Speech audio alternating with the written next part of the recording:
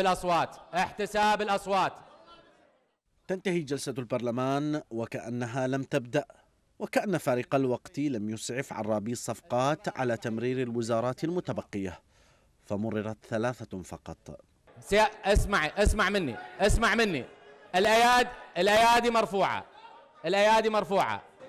ولمنطق رفع اليد الصوري هذا مشهد آخر خلف الأنظار.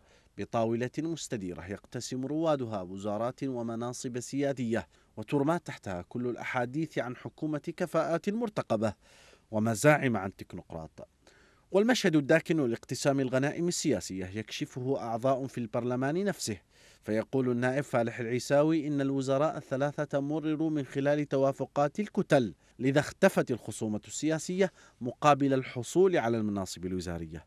فائتلاف دولة القانون طلب من تحالف سائرون تمرير قصي السهيل مقابل عدم تمرير المرشحة لحقيبة وزارة التربية لافتا إلى أن صفقات تمرير الوزراء ألغت التحالفات ونسفت ما سماه المشروع الوطني.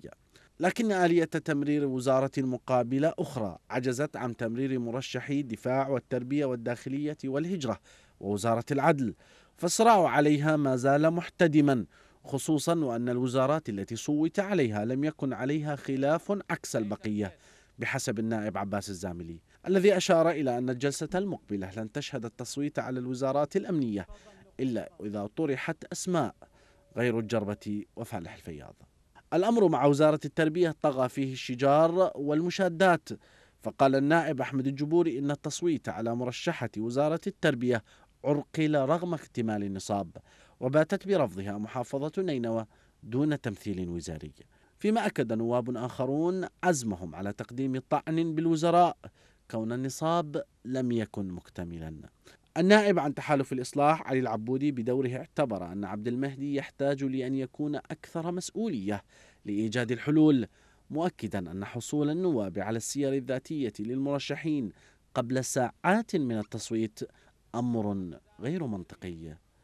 ترى ما المنطقي في كل ما يجري في العراق؟ لم